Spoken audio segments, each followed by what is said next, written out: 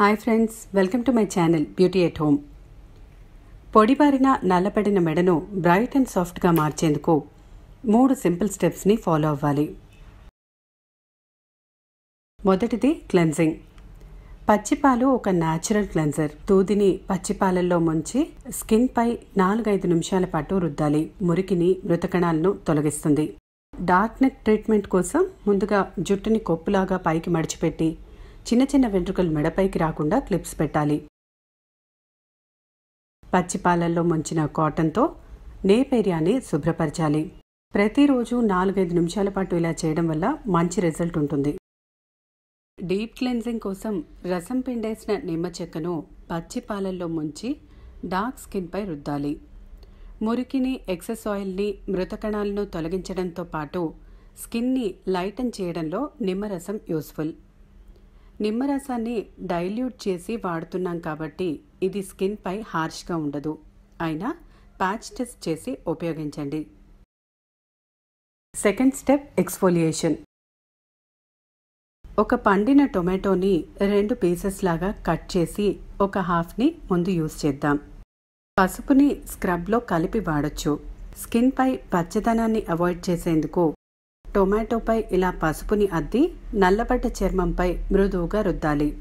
ఎన్నో తరాల నుండి అందరికీ తెలిసిన సౌందర్య సాధనం పసుపు. పసుపులోని రసాయనాలు మెలనిన్ ఉత్పత్తిని కంట్రోల్ చేసి స్కిన్ని లైటన్ చేస్తాయి. మూడు నాలుగు నిమిషాల పాటు ఇలా మసాజ్ చేశాక కాటన్ లేదా టిష్యూతో క్లీన్ చేయాలి.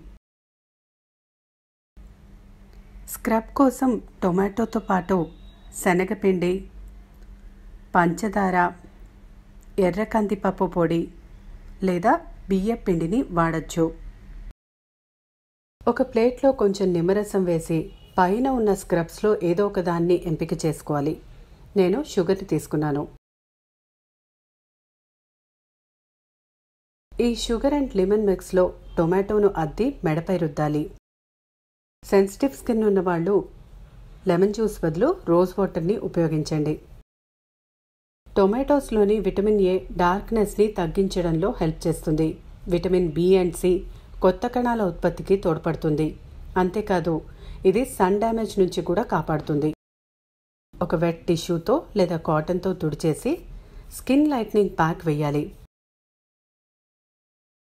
పచ్చి పాలల్లో బియ్యపిండి లెమన్ జ్యూస్ కొంచెం కొబ్బరి నూనె కలిపి ఈ ప్యాక్ని రెడీ చేసుకోవాలి. ఇది కొంచెం థిక్గా ఉండేటట్లు చూడండి. లేదంటే మెడ మీద నిలవదు. మెడపై ఈవెన్ లేయర్ లాగా స్ప్రెడ్ చేసి పదిహేను నుంచి ఇరవై నిమిషాల పాటు ఆరనివ్వాలి. బియ్యపిండి పచ్చిపాలు మృతకణాలను తొలగించి స్కిన్ని లైటన్ చేస్తాయి. కొబ్బరి నూనె చర్మం తేమ కోల్పోకుండా ఉండేటట్లు సహాయం చేస్తుంది.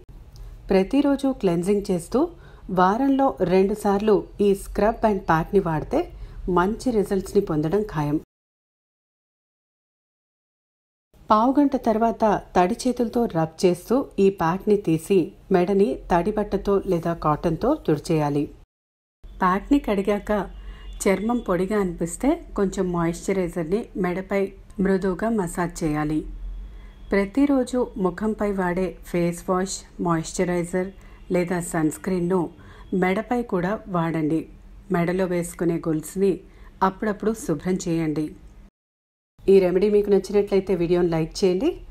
Subscribe to beauty at home comments ద్వారా మీ అభిప్రాయాలను తెలియజేయండి. Thanks for watching